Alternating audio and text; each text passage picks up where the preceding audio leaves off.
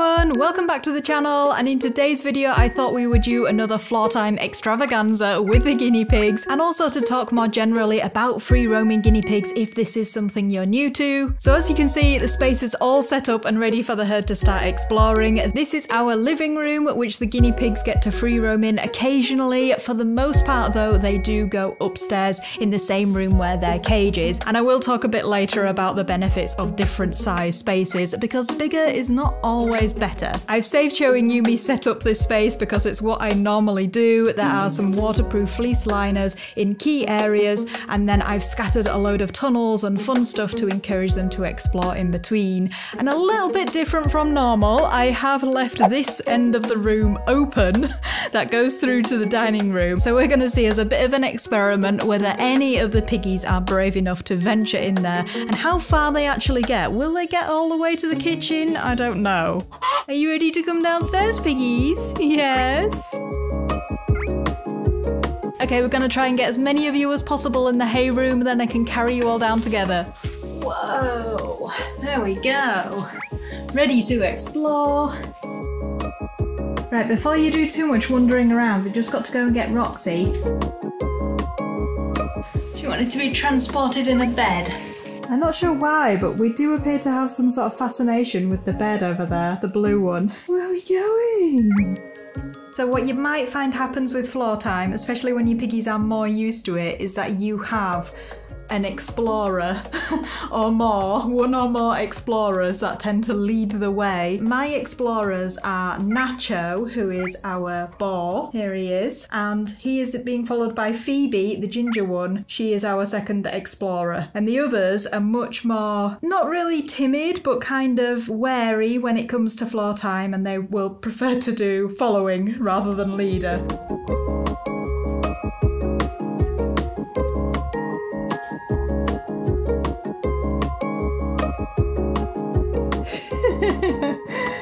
That is a great piggy train. And they're off. They're off over there into the sun puddle. They didn't take to it so quickly last time we did this. They were a bit wary, but there we go. What a piggy train. Oh, yay. That is so sweet. Don't get left behind, Callie.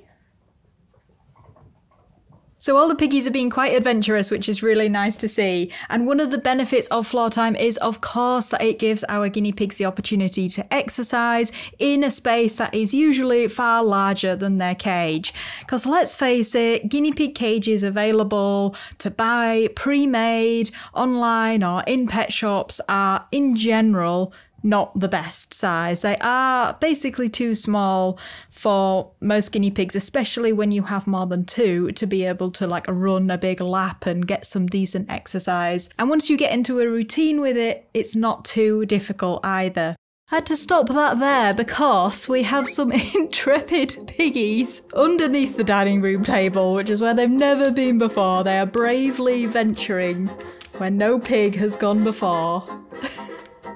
And they're out again. And that was purely led by Phoebe, with Callie following her, thinking, Where on earth are we going?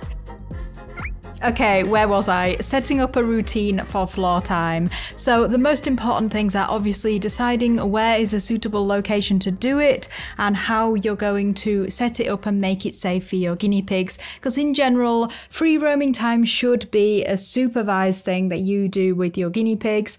They aren't necessarily destructive, but unless you're really thorough in blocking off areas where you don't want them to get into, then they could end up doing something that you don't want them to to, or they might chew something, for example, although in general they aren't as bad for chewing things as, say, rabbits might be. So your chosen location might be the same room where their cage is, it might be in an upstairs bedroom or downstairs in a more social living area, which is totally fine, and you'll find that your guinea pigs will adapt to noises going on around them. It might just take them a little longer in the beginning, but things like people talking, walking around, TV, radio on in the background, background, they will eventually get used to it and ignore those sounds. So often part of setting up the right area is having the right tools at hand. And as you've seen here, I use C&C cage grids. They work quite well. They're really flexible. I can set them up to block off pretty much any areas where I don't want the guinea pigs to get to. But you could also use something like a playpen, although I'd try and use it like stretched out to block off an area rather than making a circle pen with it because they tend to be quite small. However, in the beginning, small could be better. So if you've got relatively new, young guinea pigs that are not used to being out in the open, even if there's hideys and things for them to get into, then it can be quite overwhelming for them to be in a huge space like this. My guinea pigs are fairly confident and used to it, but if I was starting out with younger piggies that were say under a year old, then I would start from using a much smaller pen. I'd probably sit in with them, you know, we're thinking like two meter square size and then increase it gradually from there. And it does really depend on their personalities as well. Some piggies are just more natural explorers and take to it easier, whilst other piggies are home pigs and they prefer their cage. Phoebe's off. Phoebe is independent piggy. Where are you going? Where are you going? Where's everyone gone, buddy? Where's everyone gone? They've all disappeared. So this is a prime example of guinea pigs doing things that you don't necessarily want them to do during free roaming time. The girls have gone into here. These IKEA poofs, which I don't believe IKEA do anymore, which is a good thing for guinea pigs, um, they attract guinea pigs to sit underneath them. They are not flat all in the bottom, it's like one big cave under there. And once they get under there, they just love it. But it's not good because wherever they hang out for long enough, then we're going to get poops and possibly pees on the carpet, which is never a good thing. Nacho's waiting for you.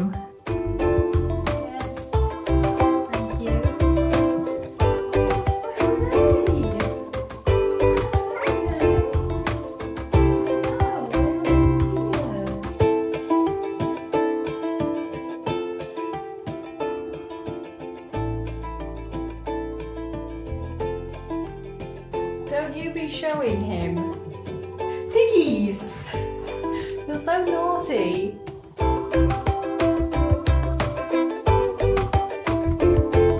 So once you've chosen where you want to do free roaming time with your guinea pigs and you've blocked off areas where you don't want them to get into, the next thing you're probably thinking about is what about the carpet? In my experience, if you provide places for them to go and use waterproof fleece liners and stop them from going into dark corners and dark things where they can hide under it and they've got nothing uh, like a waterproof liner under them, then you can avoid all pees on the carpet. Poos, however, might happen accidentally, but they are not as big of a deal because they are basically dry. They're just easy to sweep up. So unless you have, say, a brand new carpet and you want to keep it super, super clean all the time, then the occasional poop on the carpet is not too much of a worry. Just being honest, that's the way things are when you own guinea pigs. And if you find that your guinea pigs have peed on the carpet, then it's probably because they found somewhere that they like and it could just be a corner or it could be a bit of an accident.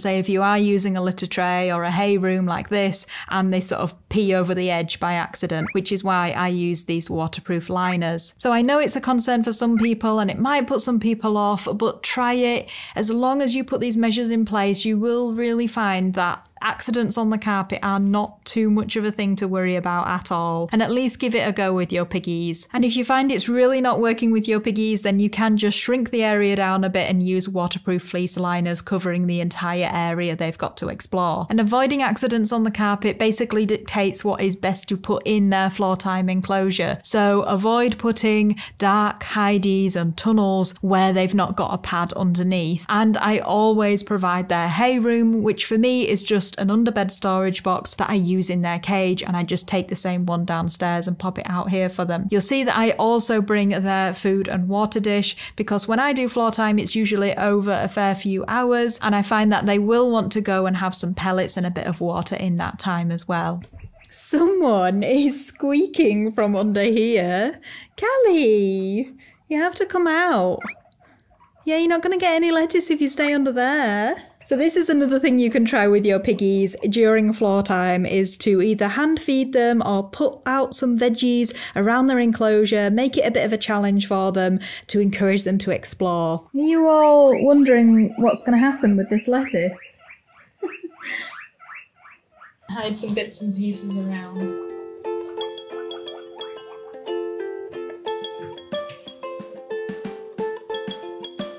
You've joined us, haven't you? At last.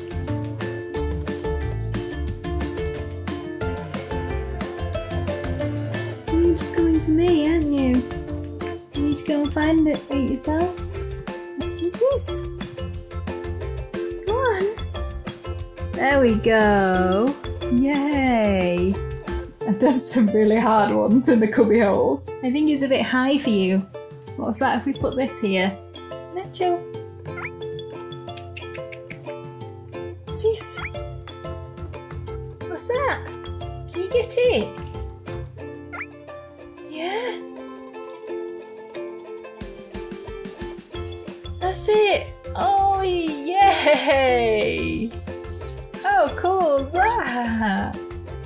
After all that fun exploring, I think the piggies have had enough. They're probably ready to go back. And that is one of the things about guinea pigs. They do naturally love their cage, which is why it's important that their cage is of a decent size and it has enough things in for them to share nicely if there are two or more piggies, which there should always be because they're very social animals. So for a decent cage, you're looking for at least 10 and a half square feet, which is often a lot bigger than what you can get from standard cage manufacturers. So I will have an updated video on the best indoor cages coming out very soon and I'm researching for this video so I would love for you to let me know whether you have a DIY setup. If you have a pre-made one then how big is it? Did you manage to find something suitable for your piggies or have you got a kind of hybrid like a C&C cage where it's a bit DIY but maybe you've bought it from one of the big retailers? I'd love to know so do comment below and I hope you've enjoyed watching this video.